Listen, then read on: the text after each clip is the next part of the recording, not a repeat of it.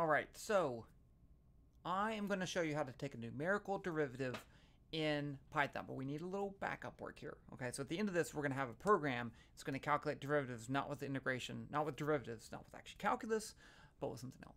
Okay, so here's a function. Here's my function f of x equals 3x squared minus 2, the same thing I did before, and there's the graph right there. So what is the derivative? The derivative is a measure of the instantaneous slope. Okay, so we're not going to do instantaneous slope. We're not going to uh, have we're going to we're going to have really short slopes. Okay, so let's suppose I have these two dots right here. This dot right here has the coordinate x, f of x. So f of x is just a function. I put in whatever I want. I put in 3 and I get 3 squared times 3 minus 2. That's the value, okay? So if I have any x value, I get my x function right there. Now, if I increase the x value by some value dx, I missed this, shouldn't be, this should be x plus dx, that's not, that's wrong right there, x plus dx. Then my new coordinate appears x plus dx, and my new function is f of x plus delta x. So now I just use the normal slope formula, and I get this. It's the rise, f of x plus delta x minus f of x. Over the run, which is just going to be x plus delta x minus x, which is its delta x. And then the normal derivative says take the limit as the slope, as the delta x goes to zero. And then that's how you get this. Okay, we, and I did a video on that. I'll include a link down below as long as I don't forget. So here's how we're going to do this in Python. So we're going to start with some value x. You can, because you got to start somewhere. You can't just do it for everything. I'm going to start with like x equals negative 3. And then I need to pick how big my step size is going to be. We can change that. I'll start with 0.1. I'm going to calculate my f of x. I'm going to calculate f of x plus delta x. And then I'm going to use the slope formula to find the slope between those two points and put that in as my derivative. Okay. And then I'm going to plot that. That's my slope. And then I'm going to increase my value of x and do it all again. Let's get started. Okay, I'm going to do something here that might be a little weird. Watch this. Uh, okay, so I'm going to use an actual Python function for my, my math function. Okay, so in Python, I can define a function. I'm just going to call it f, surprise, right? And I'm going to, whatever is in this thing, I'm going to show you how this works. Let's just put in here, uh, let's say 3 times, let's see, uh, slope temp.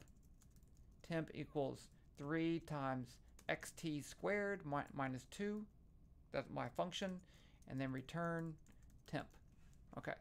So now if I say f print, watch this, print f3, f2. And let's do another one, print f1. Okay, so let's run it. Let's save this. I already saved it. So there you go. So if I put, this has the function f of 2. If I put in 2 there for xt, whatever I call on there, 2 squared is 4 times 3 is 12, minus 2 is 10. If I put 1 in there, I get 1 times 3 minus 2 is 1. So this works, right? So this is a function. So it's really cool because I can actually make it look like math, even though it's a Python function.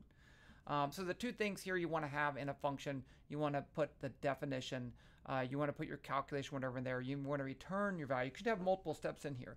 Um, it's bad form. If I if I put f of x and x right there, it would work. Okay, but it's just it's just like, hey, that's that's like that's like not cool. Don't do that. Okay.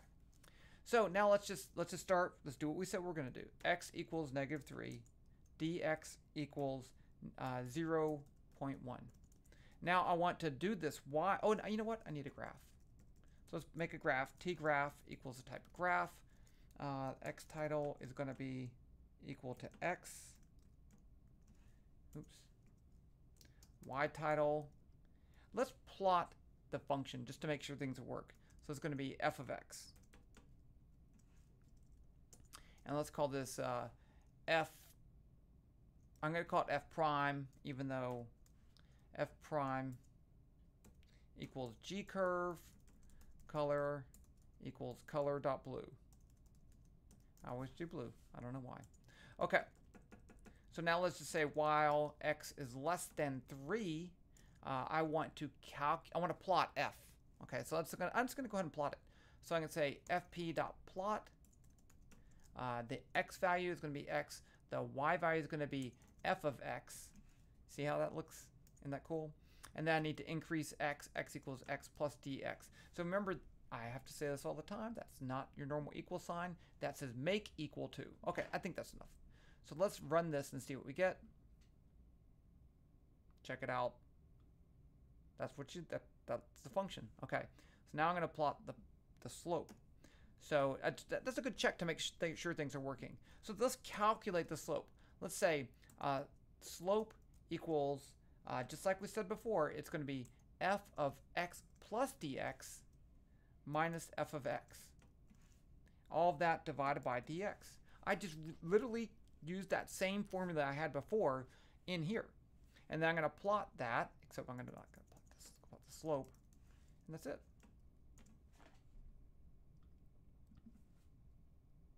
Check that out. Okay, let's just check. Remember, we did the derivative here. Okay, so let's say uh, say df is the is the derivative, and it's going to be uh, I can make it a function too, just for, just for cool, uh, just for the cools, def df xt. Uh, it's going to be uh, temp2, just because I want to make things weird. And when I took the derivative, I got 6 uh, xt. I shouldn't do that. xtt. xtt. That was it. 6 times xtt return temp2. Okay, so now I can go to, oh, I need another graph. Let's call this uh, dfp equals uh, g curve. Got to spell that right. Curve color equals color dot red. And then I can go down here and let's plot the actual theoretical value, which is going to be dfp dot plot x and dfx. I think that'll work. Yeah, they're right on top of each other. Check that out. Okay, now let's just let's just make a bigger step size. Let's make the step size uh, 0.5. Let's just see what happens. Okay, so now they're not quite the same, you see, because my step size means that I'm not actually getting the correct thing going on here. Um, and, and as the limit, as delta x gets smaller and smaller and closer to zero, I get a better and better and better answer. But wait, we're not done. Watch this. What if I want to do this for some other function? Let's say 3x cubed minus 2x um, plus one, plus plus one.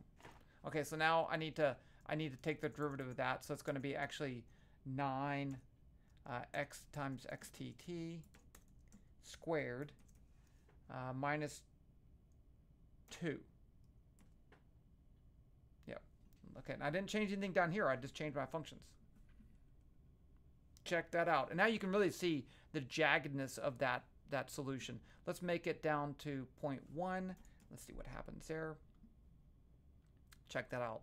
If I put this at 0.01, you won't even tell the difference.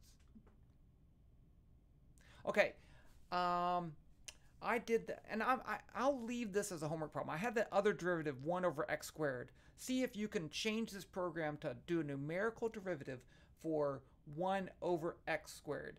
It will be fun. Okay, there you go. I'll talk to you later and we'll do either math or physics, but I'll see you.